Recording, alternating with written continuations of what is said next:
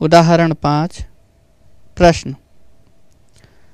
संलग्न चित्र में चार किरणें O P O Q O R और ओ एस हैं। सिद्ध कीजिए कि कोण पी ओ क्यू धन कोण क्यू ओ आर धन कोण एस ओ आर धन कोण पी ओ एस बराबर 360 अंश है। हल।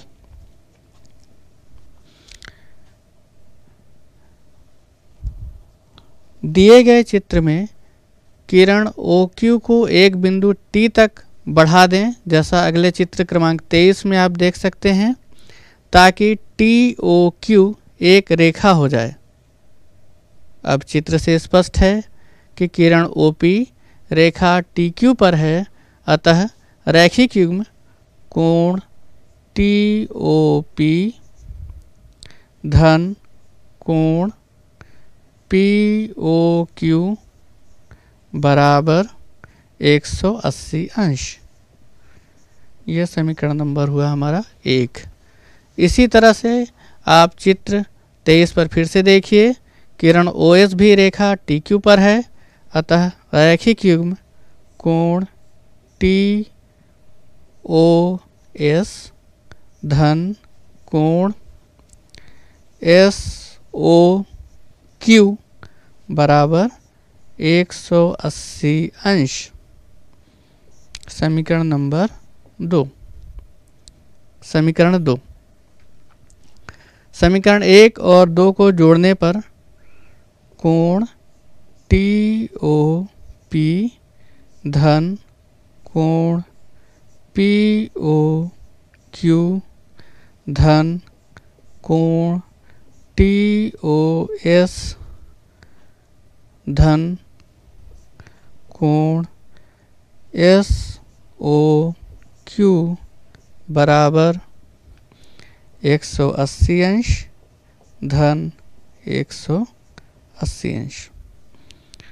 या हम लिख सकते हैं कि कोण, टी ओ पी,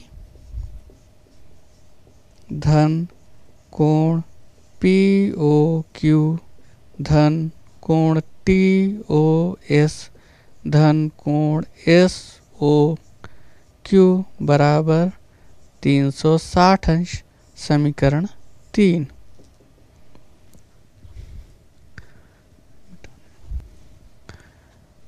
पुनः चित्र देखिए। चित्र से स्पष्ट है कि कोण टी ओ पी, धन कोण टी ओ एस बराबर कोण P O S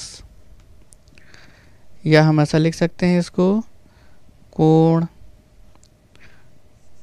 T O P बराबर कोण पी ओ एस ऋण कोण टी ओ एस कोण पी ओ एस ऋण कोण टी ओ एस। ये समीकरण हुआ हमारा चार।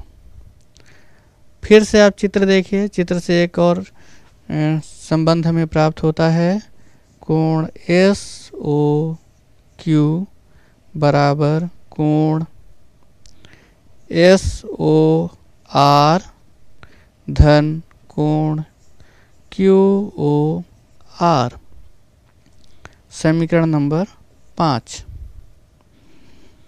समीकरण तीन में समीकरण चार और समीकरण पाँच से मान रखने पर कोण पी ओ एस ऋण कोण टी ओ एस धन कोण पी ओ क्यू धन कोण टी ओ एस धन, कोण एस ओ आर धन, कोण क्यू ओ आर बराबर 360 अंश।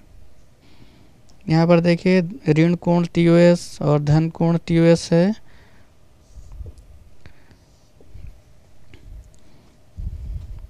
इसलिए हम आगे लिख सकते हैं, कोण पी ओ क्यू धन कोण क्यू ओ आर धन कोण एस ओ आर धन कोण पी ओ एस बराबर 360 अंश। यही सिद्ध करना था।